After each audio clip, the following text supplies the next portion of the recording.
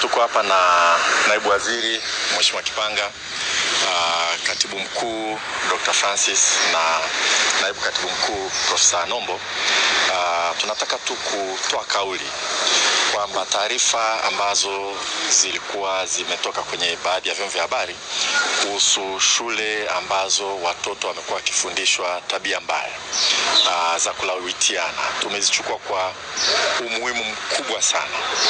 Uh, tumeshtushwa sana na taarifa hizo.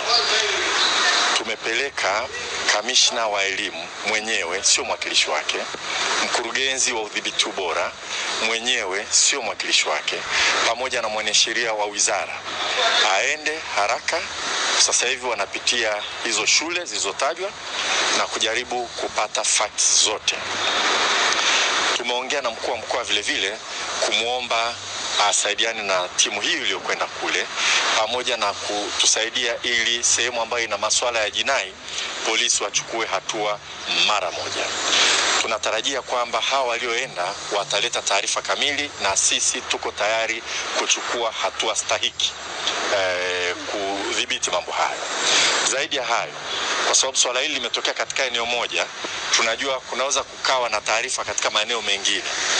Wizara itatoa, katibu mkuu atatangaza namba ambayo mtu yoyote akijua kuna kitu kama hicho katika shule yoyote hapa Tanzania, shule ya umma au binafsi au vyuo vyovyote hapa nchini, anaweza akapiga simu akatupa taarifa, na sisi tutafuatilia kwa nchi nzima.